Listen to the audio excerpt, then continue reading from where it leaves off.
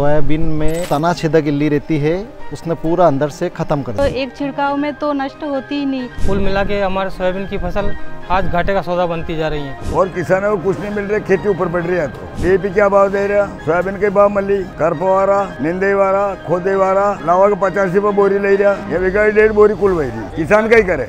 Minimum छह हज़ार रुपये प्रति क्विंटल के भाव से तो सोयाबीन होनी चाहिए। अगर सरकार इस चीज़ की ओर कोई ध्यान नहीं देती है तो आने वाले साल में किसान सोयाबीन की खेती करना बंद कर देगा।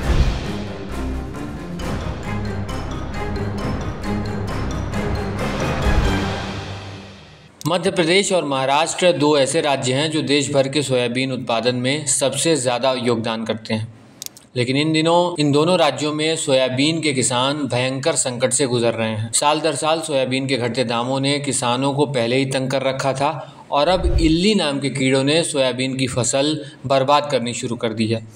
चिंता यह है कि किसानों के पास इसका कोई हल भी नहीं है। सोयाबीन के फ़सल में लगे इन कीड़ों ने उत्पादन पर बुरी तरह से प्रभाव डाला है। फ़सल में कीटों का खतरा और फिर इन सबसे लड़ते भिड़ते जो भी उत्पादन हो, उसे भी सही कीमत ना मिले तो सोयाबीन किसानों के साथ यही हो रहा है। सोयाबीन में इल्ली का इतना प्रकोप है। ये जो हुआ है ये तना छेदक इल्ली रहती है, उसने पूरा अंदर से ख़त्म कर दिया है। और एक बाहर से रहती है पत्ते छेदक इल्ली। मतलब इल्ली का कोई सा भी केमिकल अभी डालते हैं तो कोई कंट्रोल नहीं होता है और इल्ली की वजह से अब इस सोयाबीन के पौधे पे सिर्फ़ चार फली है। तो सोच लो क्या उत्पादन होगा। उत्पादन तो नाम मात्र का होगा कि दो कुंटल बिगा की हो जाए तो बहुत बड़ी बात है। अगर भाव की बात करें, जो दस साल पहले हमें भाव मिल रहे थे वो भाव हमें आज मिल रहे हैं। दस साल बाद, महँगाई कितनी बड़ी है, कृषि दवाएँ इतनी महँगी हो चुकी है, खाद महँगा हो चुका है, मजदूरी महँगी हो चुकी है, यही सोयाबीन बीज से लेने जाओ तो छः हज़ार, सात हज़ार रुपये में बीज बीज मिलता है। और हम अभी मंडी में बेचने जाएँगे तो हमें अड़तीस सौ चार हज़ार रुपये का भाव मिल रहा है। इसलिए सोयाबीन कुल मिला के हमारे लिए घाटे का सौदा है। पर अब तो इल्ली का प्रकोप बहुत मतलब एक छिड़काव में तो नष्ट होती ही नहीं। उसके बाद भी उसका प्रकोप बना ही रहता है। तो सर वो दिक्कत आती है ना कि मतलब छिड़काव के बाद भी उस हिसाब से माल भी नहीं निकलता। तो हमको घाटा ही है सर इसमें। हर साल पीला मोजक से सोयाबीन का उत्पादन कम होता जा रहा है और सोयाबीन में लागत बहुत है, घाटे का सौदा हो रहा है और मजदूरी भी महँगी है, लेबर चार्ज महँगा है। हर चीज़ मतलब मशीन, थ्रेशर एक बीघे का सोयाबीन निकालने में हमें एक घंटे का पंद्रह सौ रुपये लागत लगती है।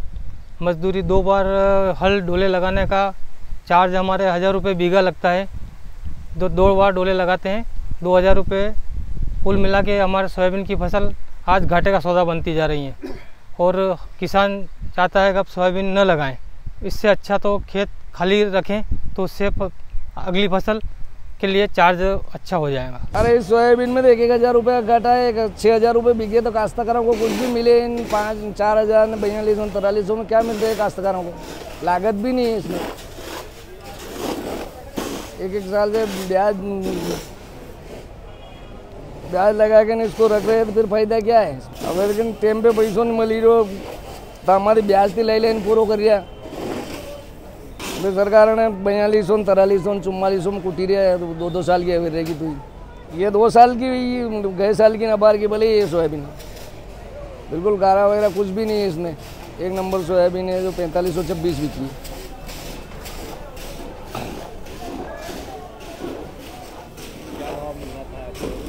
कम से कम छः हज़ार रुपये का भाव तो मिलना था ही था।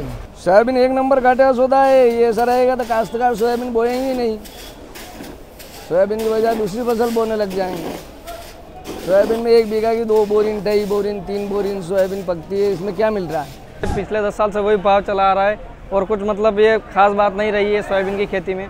तो दस साल से जो किसान खेती कर रहा है, उसमें अगर कुछ मिले तो ठीक है, नहीं मिले तो कुछ भी नहीं मिल रहा है, देखा जाए तो। कटाई से लेकर कढ़ाई से लेकर यहाँ तक हम बेचने मंडी तक आते हैं, उसमें बिल्कुल कुछ भी नहीं मिल रहा है, सोयाबीन में कुछ भी नहीं है, सोयाबीन में अंदर देखिए हम तो बिल्कुल भी कुछ नहीं है और ये भाव लगता है और फिर मजदूरी के पैसे और ये खर्चा बहुत है। इसमें। इससे दूसरी फ़सल बोए उसका भाव मिल जाए थोड़ा बहुत है वरना सोयाबीन की खेती में तो कुछ दम भी नहीं है। कुछ किसान परेशान हो गए सोयाबीन की खेती से तो और कुछ मतलब नहीं है इस खेती से तो। मैं किसान भी हूँ और पढ़ाई भी करता हूँ। कॉलेज वगैरह मेरा चल भी रहा है बीए फ़र्स्ट ईयर में। लेकिन खेती में क्या है कि मिल भी जाता है नहीं भी मिलता है उसके अतिरिक्त अगर हम सोयाबीन का अगर एक करते हैं खेती तो उसमें क्या है कुछ भी नहीं है। बिगड़ भी गई फ़सल और सरकार ध्यान नहीं दे रही है इस चीज़ पे। इस चीज़ पे ध्यान देना चाहिए सरकार को कि किसान इतना कर रहा है तो थोड़ा बहुत मतलब भाव वगैरह से उसका कहीं ना कहीं अगर सरकार इस चीज़ की ओर कोई ध्यान नहीं देती है तो आने वाले साल में किसान सोयाबीन की खेती करना बंद कर देगा। वैसे भी खेती घाटे का सौदा हो चुकी है। सरकार के कितने भी दावे हैं कि हम आय दोगुनी करेंगे, वो होना नहीं है। कि जब तक कि आप इनका एमएसपी लागू नहीं करोगे, कि इससे नीचे कोई माल नहीं बिकेगा तब तक किसानों का कोई कल्याण नहीं हो सकता है। बाकी राजनीतिक पार्टियाँ हैं सब अपना अपना काम करते हैं सब किसानों को बेवकूफ़ बनाने के अलावा कोई बात किसी के पास नहीं है। फ़ायदा मतलब कुछ नहीं मिल रहा है फ़ायदा नहीं मिल रहा है। उसकी लागत अगर दे, से अगर देखें तो उसका लागत का रेशा निकाले तो कुछ नहीं मिल रहा है हमको। मिनिमम छः हज़ार रुपये प्रति क्विंटल के भाव से तो सोयाबीन होनी चाहिए। ये हमारे किसानों की डिमांड है। बयालीस सौ बिकी और किसानों को कुछ नहीं मिल रहा, खेती ऊपर बढ़ रही है तो। डीएपी क्या भाव दे रहा? सोयाबीन के भाव मल्ली, करपवारा, निंदेवारा, खोदेवारा, और लावा के पचास रुपये बोरी ले रहा, ये बिगा डेढ़ बोरी कुल वही रही किसान क्या ही करे? केंद्र में मनमोहन सिंह जी का सरकार था, तभी तो आयात मूल्य 35 परसेंट था, पाम तेल पे। अभी ज़ीरो परसेंट है। एक कंज्यूमर कंज्यूमर यानी कस्टमर के लिए केंद्र सरकार की जो नीति है, वो किसान के लिए हितकारक नहीं है। बहुत नुकसानदायक है। अभी किसान बेहाल, किसान को फ़सल का लागत मूल्य भी नहीं निकल रहा है। केंद्र सरकार का कहना है कि 10 साल में सोयाबीन की एमएसपी में करीब इक्यानवे परसेंट का इजाफा हुआ है। लेकिन किसानों की बातें सरकार के इन आंकड़ों से ठीक उलट हैं। महाराष्ट्र में इन्हीं समस्याओं को लेकर किसान नेता भी मुखर हो चुके हैं। महाराष्ट्रामध्ये सोयाबीनचे दर सातत्यानं कोसळत आहेत. केंद्र सरकारनं यावर्षी सोयाबीनला चार हजार आठशे ब्याण्णव रुपये प्रति क्विंटलचा भाव जाहीर केला असताना आज आगाप सोयाबीनसाठी शेतकऱ्यांना तीन हजार पाचशे ते चार हजार शंभर रुपयाचा भाव मिळतोय. साधारणपणाने आठशे ते चौदाशे रुपये प्रति क्विंटल तोटा आधार भावाच्या कंपॅरिझनमध्ये शेतकऱ्यांना सहन करावा लागतोय. सरकारच्या धोरणामुळे सोयाबीनचा उत्पादन खर्च सातत्यानं वाढतोय. दुसऱ्या बाजूला सरकार सातत्यानं शेतकरी विरोधी आयात निर्यातीचं धोरण घेतं. मध्यंतरीच्या काळात सोयाबीनची अनिर्बंध आयात करण्यात आली. आणि आता सुद्धा मोठ्या प्रमाणामध्ये खाद्यतेलाची आयात सरकारकडून केली जाते. या सगळ्याचा दुष्परिणाम म्हणून सातत्यानं शेतीमालाचे भाव विशेषतः सोयाबीनचे भाव कोसळत आहेत सरकारने ही बाब लक्षात घ्यावी. मुख्य हंगामाचं सोयाबीन बाजारात जेव्हा मोठ्या प्रमाणात येईल हे भाव त्याच्यापेक्षा सुद्धा अधिक कोसळतील. आणि तेव्हा मोठ्या प्रमाणात शेतकऱ्यांचा उद्रेक हा सरकार विरुद्ध उसळल्याशिवाय राहणार नाही. ही परिस्थिती निर्माण होऊ नये. शेतकऱ्यांना दिलासा मिळावा.